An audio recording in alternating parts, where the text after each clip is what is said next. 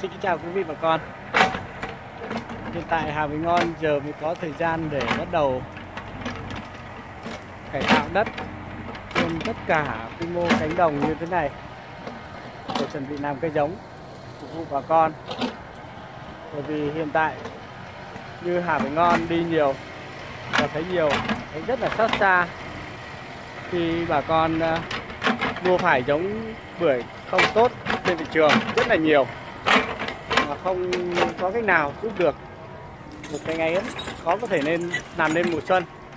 Hà Bình Ngon chỉ cố gắng hết sức để có thể phục vụ tốt nhất cho bà con lượng cây giống, chuẩn đầu dòng ra thị trường.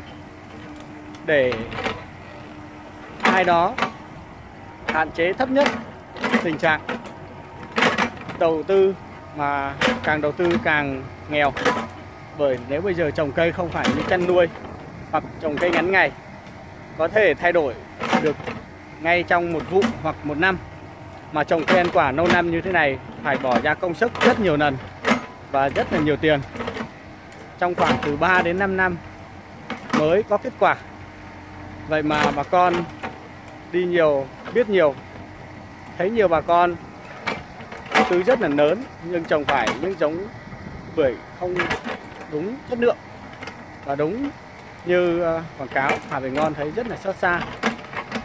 Đây là Hà Bình Ngon đang làm tiếp một ờ, bãi cánh đồng rộng như thế này để chuẩn bị cây giống cho vụ mùa năm sau. Chắc là phải năm 2018 thì Hà Bình Ngon mới quy hoạch xong cái vườn như thế này. Bởi vì vườn này rất là rộng, cũng ờ, rất là vất vả để có thể đứng ra thuê mướn được của bà con nhân dân cho làm và con nhìn rất là rộng, mênh mông. Như thế này. Và cũng phải nói là phải có đủ tiềm năng, tiềm lực thì mới có thể làm được. Nên là đây là lúc Hà Bình Ngon đang cần để ờ, phát triển. Thì bây giờ là đang ờ, cải tạo, chuẩn bị cho mùa năm 2018 ở khu vực này. Để giúp bà con được phần nào hay phần đấy. Bởi vì đôi khi một cái nghén khó khó, có thể làm nên mùa xuân.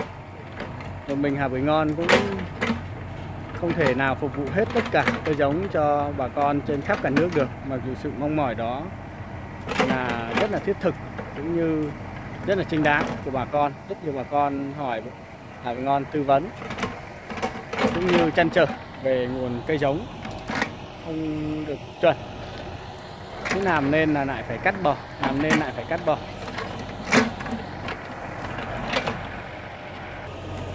đây là hiện tại Hà Bình Ngon đang đang ờ, dọn cỏ và chuẩn bị lên luống cũng như đảo đất và sẽ làm hệ thống tường bao quanh.